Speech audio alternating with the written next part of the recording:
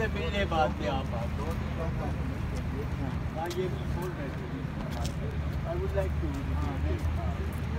fifty पचास साल हो गए।